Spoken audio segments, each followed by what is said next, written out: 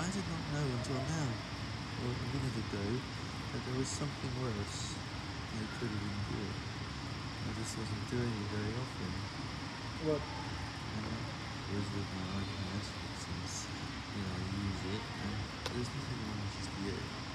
It's okay for now. We'll change to